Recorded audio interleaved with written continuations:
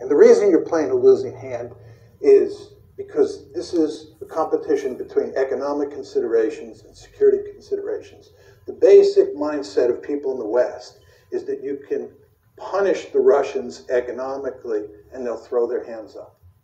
My argument is when security considerations are at stake, when core strategic interests are at stake, and there's no question, ladies and gentlemen, in Russia's case, this is a core strategic interest, countries will suffer enormously before they throw their hands up.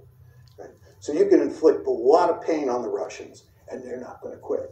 And they're not going to quit because Ukraine matters to them. And by the way, Ukraine doesn't matter to us. You understand there's nobody calling for us to fight in Ukraine. Even John McCain, who up until recently has never seen a war he didn't want to fight, right, is not calling for using military force in Ukraine.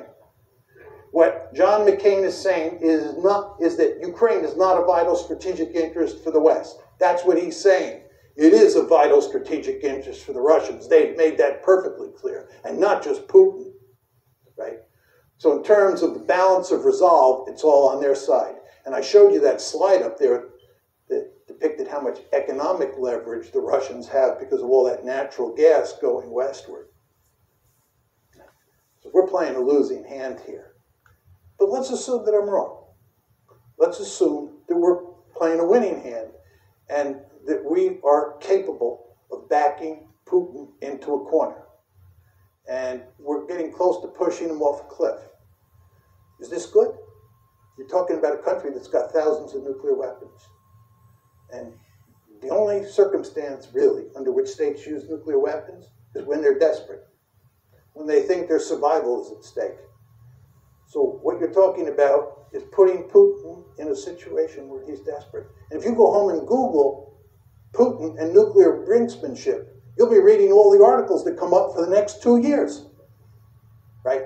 Because he's making it clear that you're fooling around with his core strategic interests. And again, he's got thousands of nuclear weapons. So you're putting yourself in a position, right? you're putting yourself in a position where you're willing to risk a possible nuclear war over a piece of real estate, Ukraine, that is, a, that is not of vital strategic interest to the United States. Again, it's not of vital strategic interest to us.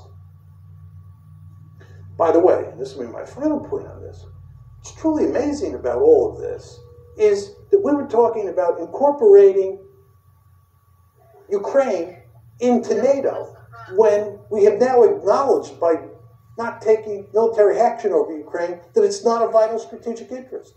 You understand that when you incorporate Ukraine into NATO, you're giving them an Article 5 guarantee, which says you'll come to their defense if they're attacked. You only give Article 5 guarantees to countries that are of vital strategic interest, like Germany during the Cold War. What were we doing? Giving an Article 5, thinking about giving an Article 5 guarantee to a country that's not a vital strategic interest. It just shows you how discombobulated American foreign policy is these days.